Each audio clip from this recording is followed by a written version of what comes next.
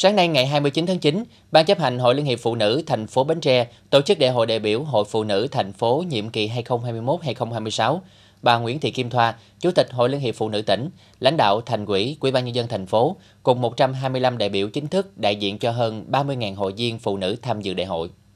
Nhiệm kỳ qua, dưới sự lãnh chỉ đạo sâu sát của thành ủy, hội cấp trên, Hội Liên hiệp Phụ nữ thành phố Bến Tre và cơ sở đã tổ chức thực hiện tốt các cuộc vận động gắn với đăng ký học tập làm theo tư tưởng đạo đức phong cách Hồ Chí Minh, xem đây là nội dung trọng tâm trong việc rèn luyện tác phong, lề lối phong cách làm việc, thực hành tiết kiệm, xây dựng lối sống lành mạnh, hướng tới xây dựng người phụ nữ phát triển toàn diện.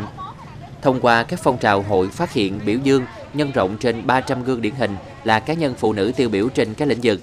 Đặc biệt, hội cũng đã triển khai nhiều mô hình và các công trình phần việc thực hiện cuộc vận động xây dựng gia đình 503 sạch, gắn thực hiện tiêu chí đô thị loại 2, dân minh đô thị và xã nông thôn mới. Đến nay, toàn thành phố có trên 16.000 hộ gia đình đạt 8 tiêu chí gia đình 503 sạch, đạt tỷ lệ trên 81% tổng số hộ đăng ký.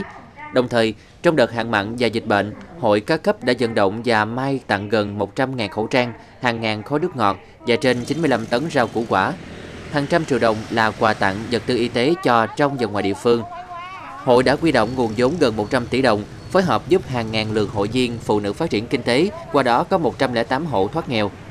Tại đại hội, đại biểu thảo luận biểu quyết bầu Ban chấp hành Hội Liên hiệp Phụ nữ thành phố nhiệm kỳ 2021-2026 gồm 28 ủy viên, bà Nguyễn Thị Trúc Giang tái cử chức danh Chủ tịch hội nhiệm kỳ mới, đồng thời bầu đoàn đại biểu dự Đại hội đại biểu Hội Liên hiệp Phụ nữ tỉnh Bến Tre nhiệm kỳ 2021-2026.